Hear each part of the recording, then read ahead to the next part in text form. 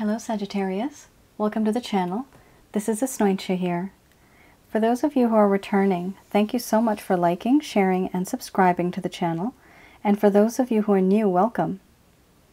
So firstly, thank you everyone for your well wishes as well as for your prayers.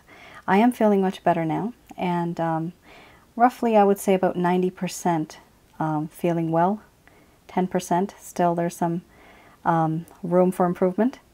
So I'm st still feeling a little dizzy, um, but it's not while I'm sitting, it's just when I'm walking. I feel a little um, imbalance there.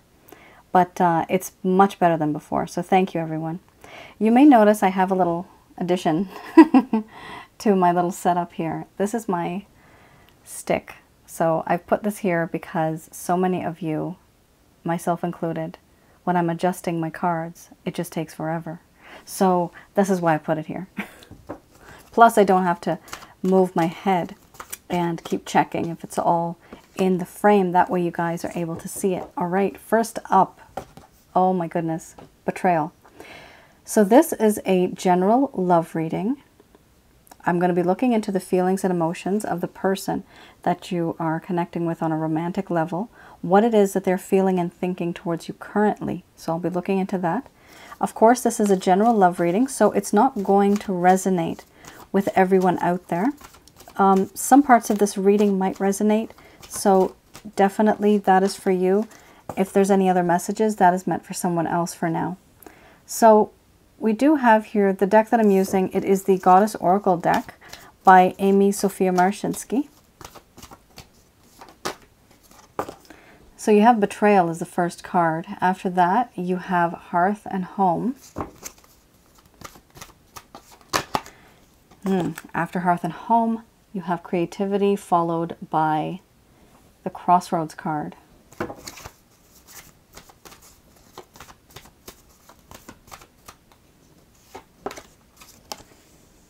And after Crossroads, we have Cycles. Oh, wow. Grief.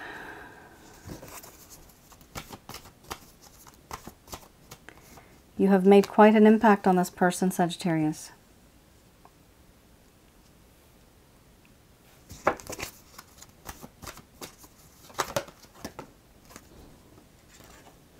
Awakening. Yep, you've made, made a really big impact and now this person is starting to awaken. There's an enlightening moment. Oh my God. And they have awoken to wisdom. That is a beautiful combination. Oh my goodness. Beautiful. Very nice. Okay. Oh, so not all hope is lost, Sagittarius. Wisdom is a huge thing for someone to become wise and not repeat their mistakes. So here we have betrayal, hearth and home, creativity, crossroads, cycles, grief, ecstasy, awakening, and then we have wisdom under the bottom of the deck. I'm going to express to you what it is that this person is feeling towards you currently, Sagittarius.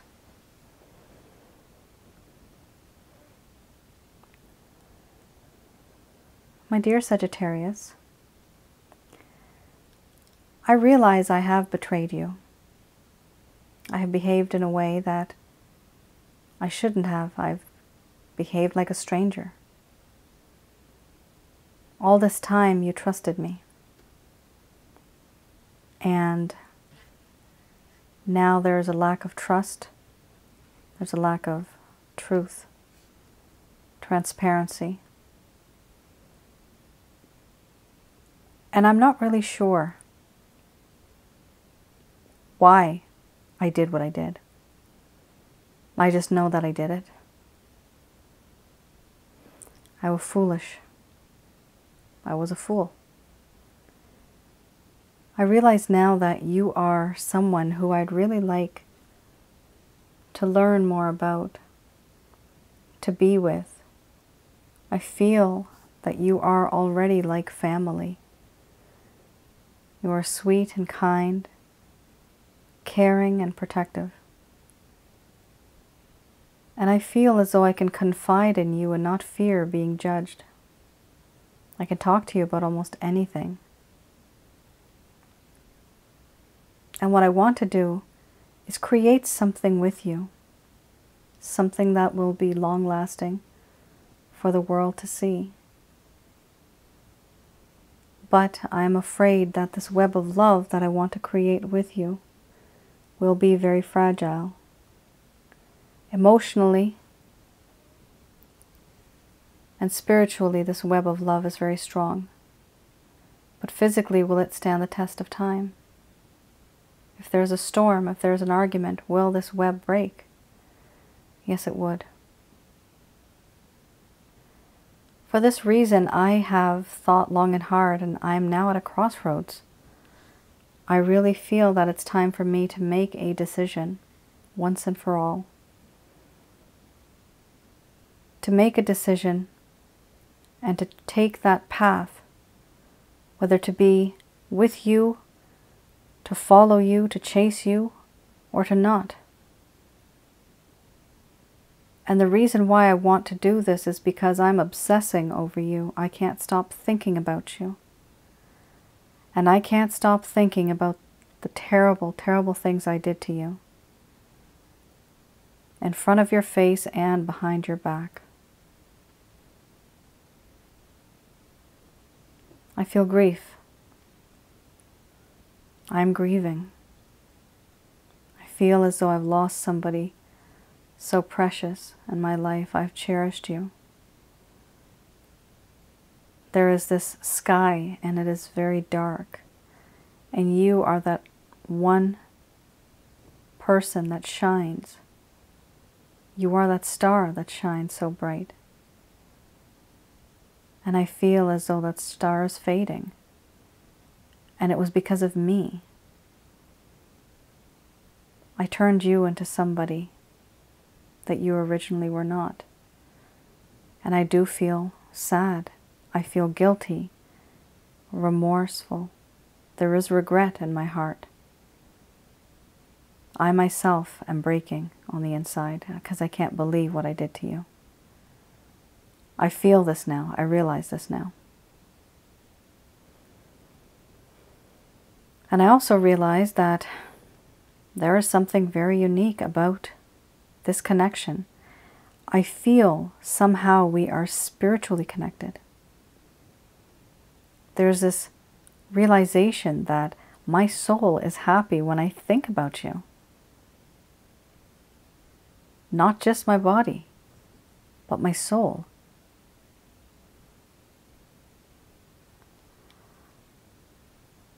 I do believe that you have brought to light and awakened this part of me that was dormant and asleep this entire time. I was asleep all this time. That part of me, that spiritual love, I never realized. And you have enlightened me. I now see things through your eyes, from your perspective. And now I am wiser. I am not the same person that you knew back then. I am more wiser, more stronger than ever before. I have learned my lesson, and I have learned from my mistakes, and I dare not repeat them, because you are very precious to me.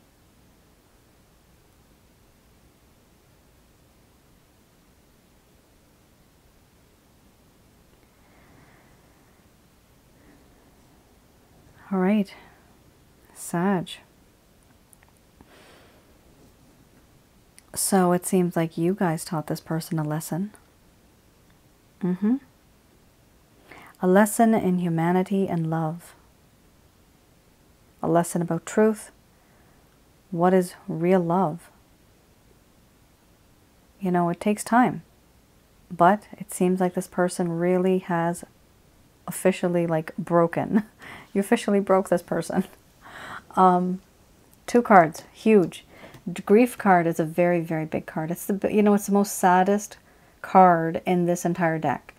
It's, you know, talks about grief, sadness, guilt, remorse, um, the feelings that someone goes through after they have betrayed someone. And the first card's the strongest. First card was betrayal.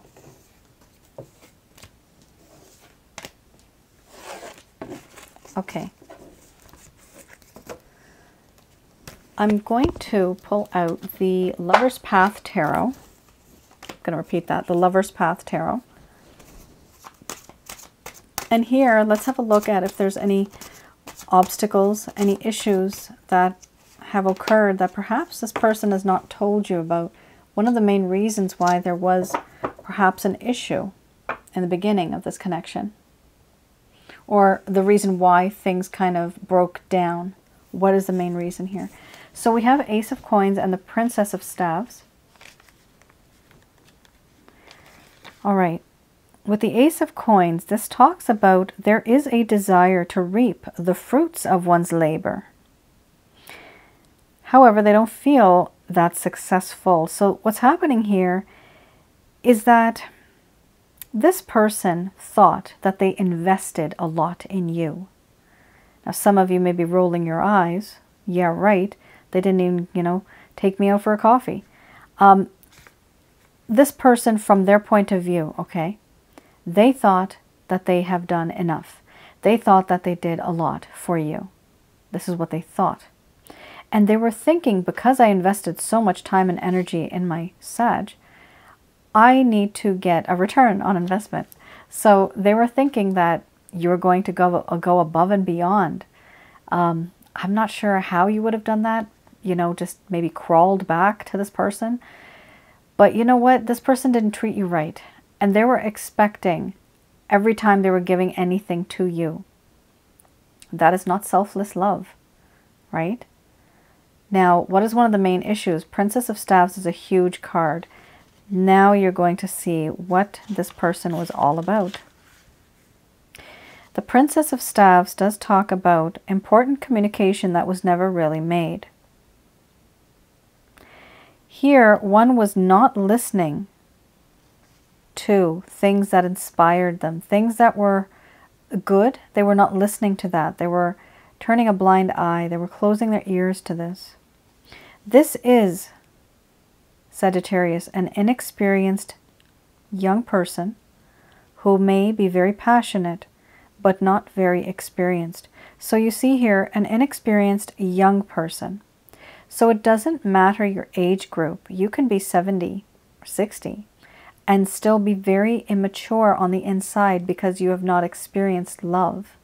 And so you are just like a, a big child, um, a big teenager, um, somebody who is not very mature, very flighty, very fickle, very changeable, a player, a player.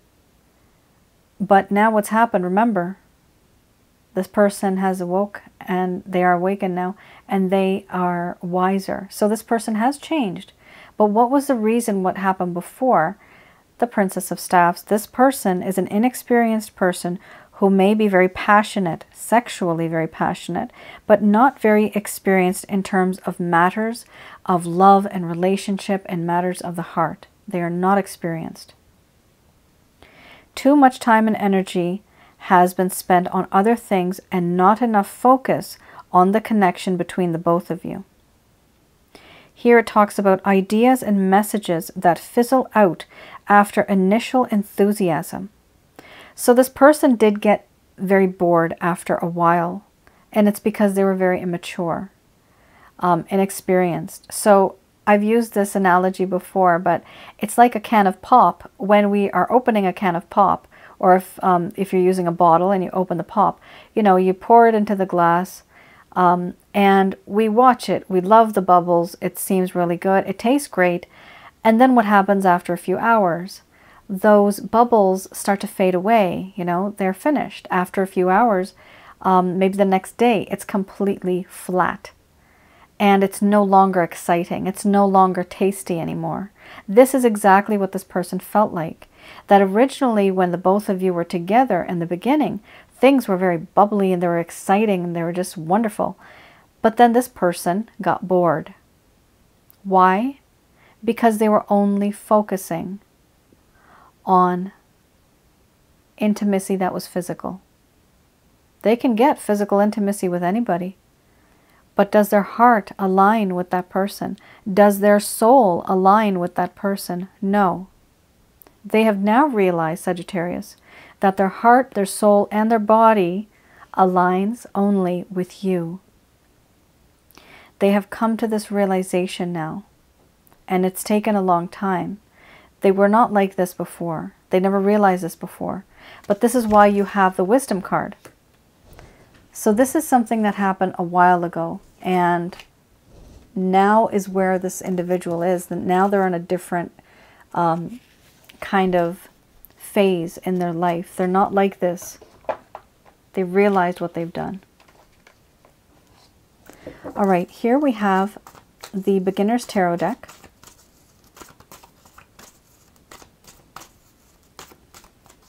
So I'm going to have a look at what, if there are any um, plans, actions, or intentions. Sorry, I'm just taking these cards out that came out. So yes, this person definitely wants judgment, a second chance with you, Sagittarius, and they want it to be clear and transparent. We have people who are resurrecting a second chance. This is a spiritual connection. This individual now wants absolute transparency, meaning everything has to be out on the table. There's no lies. There's no betrayal going forward. This is what they want to give to you because they realized what they did before was absolutely wrong. They realize that now.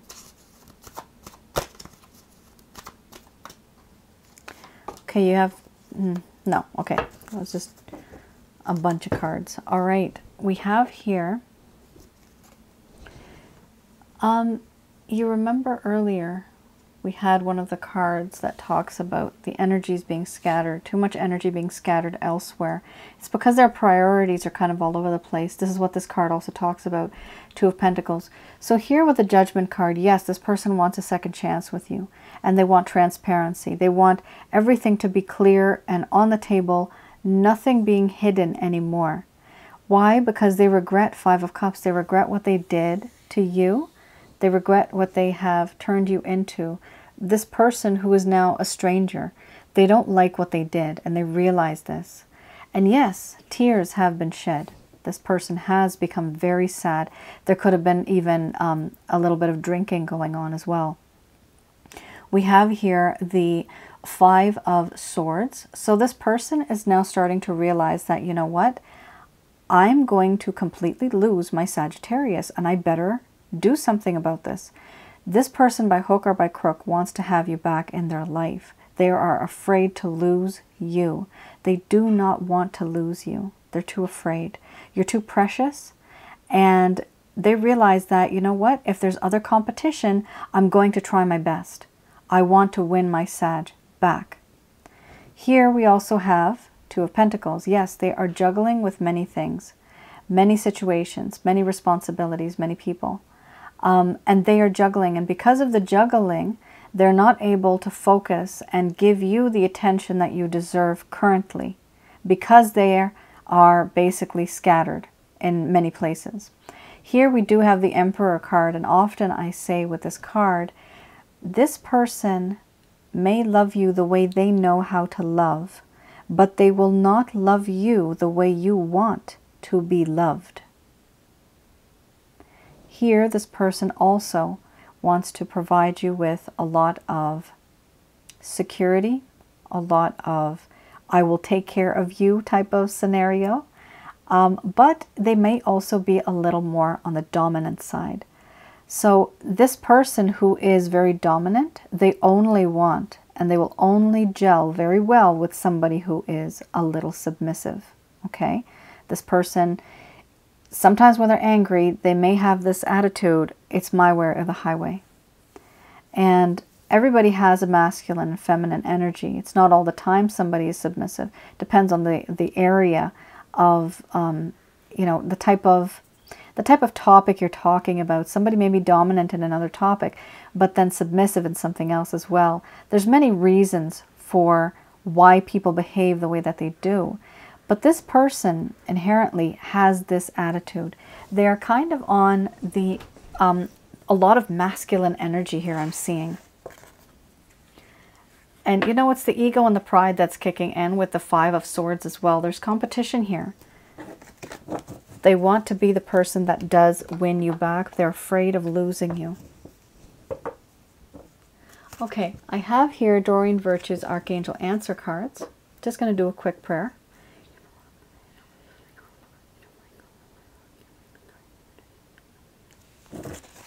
Okay, so these messages are from Archangel Michael, Raphael, and Gabriel. They are here for your greater good, what it is that they feel that your soul will be happy with eventually.